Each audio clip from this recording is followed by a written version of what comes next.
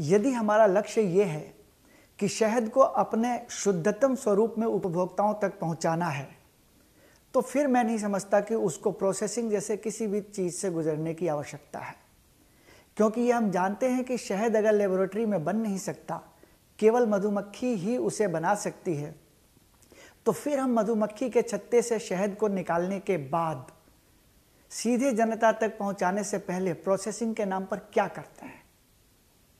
इसलिए मेरा मानना है कि रॉ हनी, कच्चा शहद जो सीधे छत्ते से निकलता है और जो एक मधुमक्खी पालक निकालता भी है, उसके बीच में और कोई प्रोसेसिंग नहीं होना चाहिए।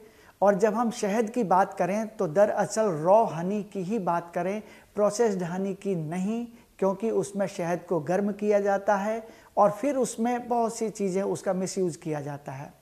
क्योंकि शहद 45 से 60 डिग्री सेल्सियस के ऊपर गर्म होने पर अपने गुणधर्म खो देता है।